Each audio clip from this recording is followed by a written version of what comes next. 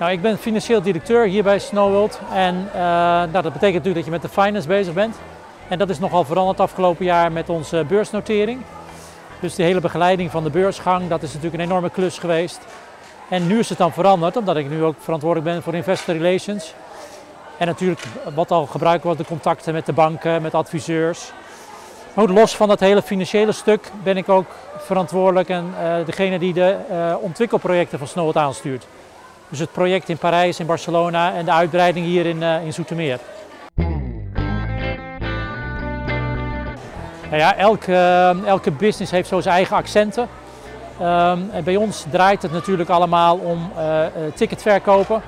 Wat ook heel bijzonder is, wij staan hier tussen de gasten. En dat is natuurlijk geweldig om tussen de gasten te werken en al die blije gezichten om je heen te zien. En dat is natuurlijk wel wat anders als je bij een bedrijf zit waar iedereen achter een beeldscherm zit en je geen, geen klanten ziet. We staan nu aan de vooravond van ons absolute hoogtepunt in het seizoen. Je ziet achter mij nu ook een school die, die les krijgt. Dus de winter is voor ons heel, heel belangrijk. De winter moet je voorstellen, hebben we ongeveer 70% van onze omzet. Periode van 1 oktober tot eind maart. En 30% in de zomer. Dus dat geeft wel aan een enorme impact dat heeft. En die impact hier in Zoetermeer is nog groter dan in Landgraaf. Want in Landgraaf hebben we in de zomer uh, allemaal nog internationale atleten uit de hele wereld. Die komen trainen bij ons in Landgraaf. We hebben daar ook een hotel bij. En dat maakt het voor heel uh, mooi om, om bij ons te trainen. Ze hoeven niet naar de Alpen, waar de condities slecht zijn in de zomer. Waar ze veel tijd kwijt zijn om vanuit een hotel naar de piste te gaan.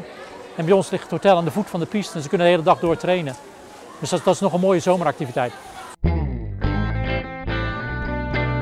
Ja, wat voor ons natuurlijk belangrijk is, gewoon in zijn algemeenheid de economische ontwikkeling, het consumentenvertrouwen. Wij hebben het helemaal aan het begin van de crisis gemerkt dat bedrijfsleven minder feesten en partijen hier organiseert. Dat merken wij. De particuliere business is behoorlijk doorgegaan, ook in tijden van de crisis.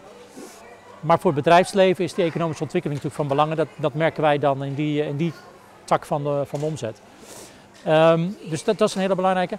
En puur als je kijkt naar een individuele week, ja, dan is het weer wel heel relevant. Of het nou in de zomer een regenachtige, winderige dag is, of het is 25 graden en mensen gaan naar het strand. Ja, dat, dat is voor zo'n dag wel heel relevant.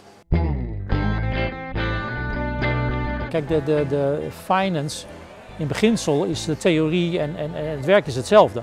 Alleen de accenten zijn anders. Bij ons ligt, andere focus op, op, op uh, omzetverantwoordingen en kosten, die zijn anders. Maar ik denk dat de basis voor elke uh, finance controller hetzelfde is. Je moet gewoon zorgen dat je goed je, je, netwerk binnen een bedrijf hebt, dat je goed hoort uh, wat er allemaal speelt, dat informatie bij elkaar komt en dat je met elkaar goede beslissingen kan nemen. En dat is ongeacht in welke business je zit. Je moet interpreteren wat mensen zeggen. Je moet uh, proberen het uh, in te schatten wat ze bedoelen. En dat, dat is nog veel belangrijker dan cijferwerk. De cijferwerk dat komt wel, hè. Dat, is, dat is de basis van je beroep. Maar die menselijke interactie, dat is, dat is, uh, dat is cruciaal.